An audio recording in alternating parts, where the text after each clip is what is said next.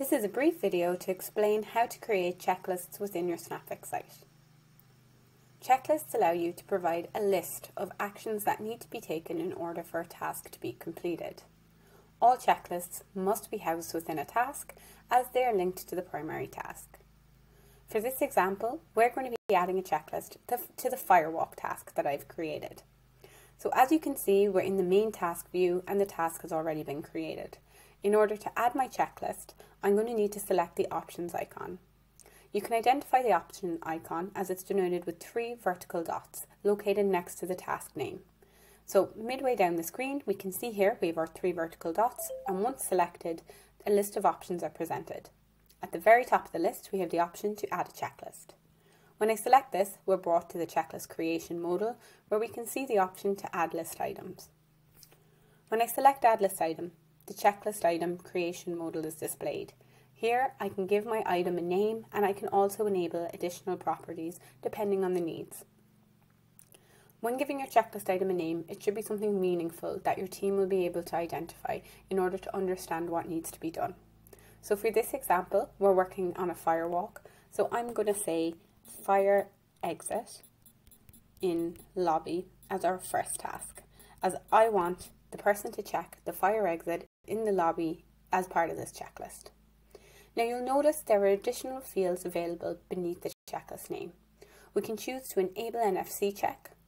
This allows you to associate an NFC tag with a specific checklist item, and your team can simply scan the tag in order to complete that item. So for the purpose of this example, I'm going to say I want to enable this. And by simply holding the tag up to my device, the tag is successfully scanned. This means that users will be able to complete this checklist item by scanning the tag. You can add additional information here too, such as a pass, flag or fail scale. You can add notes and you can make the item mandatory if you wish. When you're happy with what you've configured, you can simply select done and your checklist item is added. You'll notice next to the checklist item name, there's a circle icon. This is our NFC tag icon and it allows you to know which items have NFC enabled and which don't. We're going to add a second item here just so that we can see the difference. And we're going to say that this is the fire door in the lobby of your hotel. So once we've given the item a name, this time we're going to choose the pass, flag or fail scale and we're also going to make this field mandatory just so that we can see what these different properties look like when they've been added. I'm happy with what I've configured here and I'm going to select done. As you can see, because no NFC tag was associated with this item, there is no circle icon, but we can see at the end of the list name, there's a red asterisk. This represents that the item is mandatory.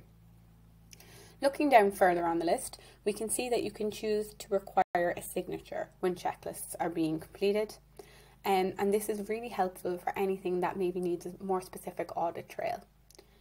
We can look down further and you can see where you can cancel the checklist, which will remove the work you've input to the system, or you can save it, which means that your checklist will be added. Now we've added two checklist items for this particular example, but there's no limit to the amount of items you can add. So depending on your own process, you can add 10, 20, 30, however many items you need to reflect the process fully. I'm happy with what I've configured here, so I'm going to select Save. And as you can see, my checklist is now available. So if I return to the main view of the task by selecting the backup arrow, you can see there's now a blue bar banner containing View Checklist, and we can see that 0% of that checklist has been completed. By simply scanning our NFC tag, we can now see 50% of the checklist is completed. So without needing to go into the full checklist, I can see that progress has been made. But if I want to dig in deeper and see what's been done on the checklist and what's outstanding to do, I can simply check that checklist line.